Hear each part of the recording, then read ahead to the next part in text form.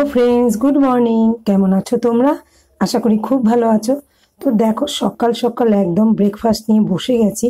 তো আজকে কি করব বলো তো? অনেক দিন পর কাঁচা কুমড়ো পেয়েছি, আমার ফেভারিট আমার ছেলে ফেভারিট কিন্তু মেয়ের ফেভারিট নয়। তো কিছু করার নেই, যেহেতু কাঁচা কুমড়ো অনেক দিন পর পেয়েছি, তো ভাবলাম আজকে করেই নি তরকারিটা। পেঁয়াজ দিয়ে একটু কুচি কুচি করে বটি বটি করব, আর তার সঙ্গে করে নেব হচ্ছে রুটি। তো খুব ভালো লাগে, তোমরা খেয়ে দেখবে কুমড়ো আলুর এরকম বটি বটি চচ্চড়ি। তো চলো পেঁয়াজটা ফোড়ন দিয়ে দিলাম আর কাঁচা লঙ্কা দিয়ে দেবো। একটু কালি জিরে দিলেও ভালো লাগে। তো তারপরে আলুটা দিয়ে দেবো। আলুটা দিয়ে একটু ভাজা ভাজা হলে তারপর কুমড়োটা দেবো। এদিকে দেখো শাশুড়ি মায়ের লিকার চাটা আগে ছেঁকে নিই তারপরে আমরা দুধ চাটা করব। যেহেতু উনি বয়স্ক মানুষ, লিকার চাই খায়। আর সন্ধ্যাবেলা হলে যদি মাঝে মধ্যে ডিম, দুধ চা, তবে খাবে। তো দেখো এদিকে এ পাশের উনুনে কুমড়ো আলুটা আমি ভেজে ভেজে নিচ্ছি, দিয়ে ঢেকে দিলাম। আর এদিকে আটা তো মেখে রেখেছিলাম, তোমরা জানো আমি সকাল সকাল উঠে আটা মেখে রাখি আর না আগের দিনও করে রাখি। তো দুধ চা আমাদের হয়ে গেছে, তো দুধ চা ছেঁকে টেকে একদম খেয়ে নেব আমার ফেভারিট দুধ চা। তারপর সোজা চলে এসেছি আমি ঠাকুর ঘরে, উপরে যাচ্ছিলাম। তো ভাবলাম তোমাদের সাথে একটু ঠাকুর ঘরটা শেয়ার করে দিই। অনেক ফার্স্ট মর্নিংয়ে আমার পুজো হয়ে গেছে, তো গোপুসোনাকে সুন্দর করে সাজিয়েছি। কেমন লাগছে গোপুসোনাকে অবশ্যই জানিও। আমার বাড়ির নয়নতারা ফুল, পাশের বাড়ির দিদি সাদা ফুল, গাছের জবা ফুল, যাই হোক নানা রকম, আর এই দেখো শ্রাবণ মাসে বাবাকে সুন্দর করে সাজিয়ে দিয়েছি। এখন বাজে মোটামুটি সকাল সাতটা। তো সাতটার সময় তো দেখো, আমার উপরের কাজ শেষ, আবার চলে এসেছি আমি নিচে। তো নিচে এসে দেখো দুধ চাটা যেহেতু বসিয়ে গেছিলাম, এসে ছেঁকে দিলাম। সবাইকেই দিয়ে দেবো, সবার কাপটা সাজিয়ে নিয়েছি। তো দুধ চা ছেঁকে টেকে একদম খেটে তো চলো ব্রেকফাস্টে তো হয়ে গেছে, তরকারিটা নামিয়ে নেব। তরকারিটা নামিয়ে দেখো, প্রায় মোটামুটি হয়ে এসছে, শুকনো শুকনোই হয় তরকারিটা। যারা জানো, করো, অবশ্যই জানো, কেমন করে নামাতে হয়, কতটা জল থাকে, কতটা শুকাতে হয়। তো যাই হোক ফাইনালি তরকারিটা হয়ে গেছে। এবার আমি রুটিটা রেডি করে নেব। যেহেতু সকাল সকাল ব্রেকফাস্টটা করে নিচ্ছি, তো রুটিটা হচ্ছে আমার বিশাল একটা কাজ, কেননা অনেকগুলো রুটি করতে হয়। তার আগে দেখো ডালটা সকাল সকাল আমি করে নিয়েছি। তো বেলা হয়ে গেলে আবার এমনিতে আমার রোজ দিন ডাল রান্না করতে ভালো লাগে না। তো ভাবলাম পাশের ওভেনটা যখন খালি আছে ডালটা করেই ফেলি। আরে দেখো, রুটিটা বেলে শেখা শুরু করে দিয়েছি। আর কয়েকটা রুটি তাওয়াতে শেখে তারপরে আমি ছাকনিতে রুটি সেঁকে নেব এদিক ওদিক করে। তো আমার এক ফ্রেন্ড বলছে দিদিভাই আমার ছাকনি আছে, কিন্তু আমি রুটি ছেঁকতে পারি না। তো যাই হোক, তুমি যদি ভিডিওটা দেখো, লক্ষ্য করো, তুমি এভাবে ধরবে আস্তে আস্তে। প্রথম প্রথম সারাশি চিমটি দিয়ে উল্টাবে, তারপর ওভাবে উল্টাবে। আমিও প্রথম প্রথম পারতাম না। কেউ কি ধরেই কোনো কাজ পারে? তো যাই হোক, ওদিকে তো রুটি আর কুমড়ো আলু বটি হয়ে গেছে। কিন্তু এটা দেখো, মুসুরির ডালে বড়া করছি আমার জন্য। অনেক দিন পর চলে এসেছি পান্তা ভাত খেতে, লঙ্কা ভাজা, পেঁয়াজ আর মুসুরির ডালে বড়া।